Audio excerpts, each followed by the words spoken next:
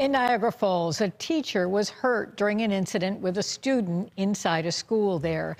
Now, this happened yesterday at Gaskill Prep. Niagara Falls Superintendent Mark Laurrie says that teacher is now at home recovering. It's unclear